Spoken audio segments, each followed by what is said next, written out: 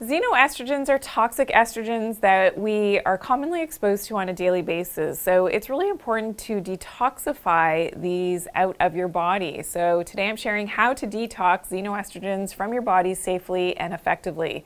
So tip number one is to limit your exposure. So in another video, I share all of the most common sources of these xenoestrogens, these estrogen mimicking molecules that can have a negative impact on our health for both men and women. So it's something that, check out that other video and you'll learn the source, but you definitely want to decrease your exposure to any of these toxic estrogens in the environment.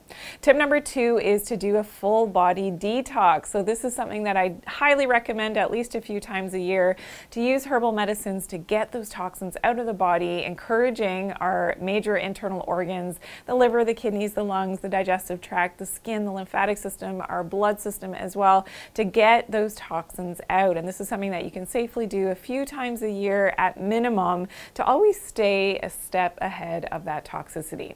So so getting those negative electrons from the earth with grounding, which is tip number three, is a great way to not only help to detoxify your body, but to set up that balance in terms of your electromagnetism in your own body to set up your detox routes and to get them functioning optimally.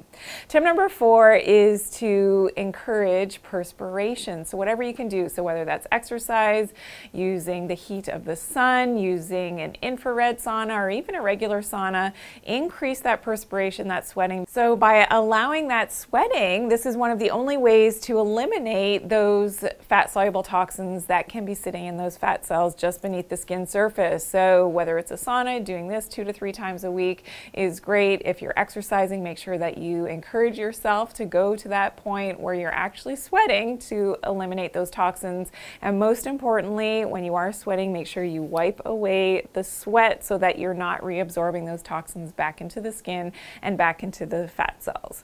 So I've got a ton of other videos all on detoxification. I highly encourage you to check them out with a lot of tips that you can further improve that detoxification of these xenoestrogens from your body. So today I talked about all the tips that you can do to help to detoxify these xenoestrogens from your body. If you do have questions or comments, I'd love to hear from you. Please do drop it in the comment section below.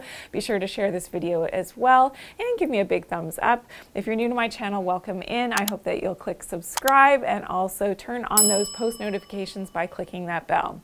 Everyone has a calling in life, and mine is to empower you to live a healthy lifestyle and, of course, to do it naturally. Thanks for watching.